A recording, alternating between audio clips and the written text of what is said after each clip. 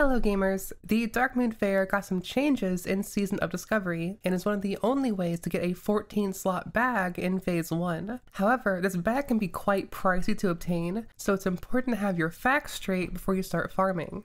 The first change from Normal Classic is that the Darkmoon Faire ticket quests have had their reputation cutoff removed. And in Phase 1 of Season of Discovery, the Tier 3 quests and higher have been disabled. This means you're spamming Tier 1 and Tier 2 turn ins, depending on which is more financially sound for you, instead of doing the highest tier you can. In later phases, naturally more turn ins will be enabled. I will update a pinned comment down below when new tiers are enabled. Secondly, the Darkmoon Faire has a two week cadence on Season of Discovery instead of the usual one month cadence. This means the fair will visit two times in a month, once in the Horde area and once in the Alliance area.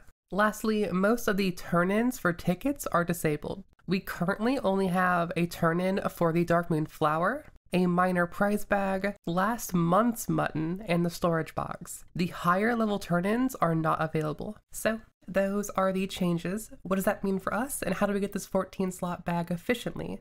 Basically, the Darkmoon Faire storage box is from acquiring 50 Darkmoon tickets and turning in the quest I mentioned earlier. You obtain tickets by turning in certain items and are rewarded a number of tickets based on the tier of the turn in. There are five tiers as shown on screen. For the items themselves, there are mob drops, blacksmithing items, engineering items, and leatherworking items. And naturally, you want to turn in the highest tier possible for the most tickets. However, a lot of these items are unobtainable or extremely hard to get for level 25 characters with a 150 profession cap. So Blizzard has disabled many of the tier 3 and higher turn-ins entirely during phase 1 to save us some pain. I've seen a lot of guides from people who haven't even been to the fair recommending you farm soft bushy tails or even craft green fireworks for tier 3 turn-ins and people just believe them. I mean, look at the profit margins of green fireworks on my server. It's crazy. With that in mind, guys, during a season of discovery, please do your own research research. Stuff is constantly changing and videos are hard to update, even with my own videos. So ignoring those unavailable items, that leaves us with tier 1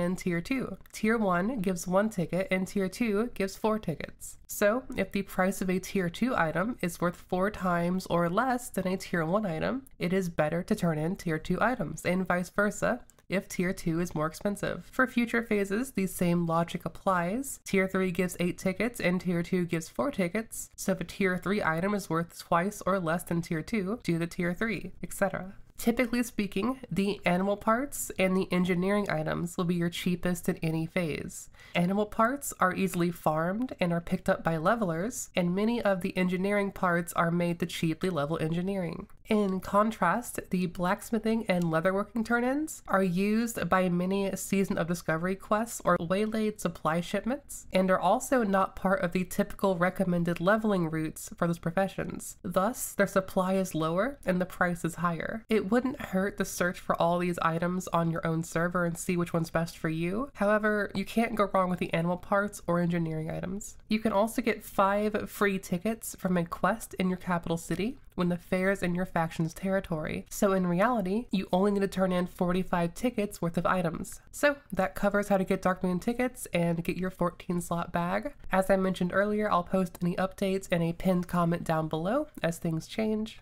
If you guys want to make some gold, a very easy way to profit is to buy these turn-in items in the weeks leading up to a fair, then resell them once the fair is in town. I hope you all get your 14 slot bags and make a lot of gold. Until next time, gamers, toodles!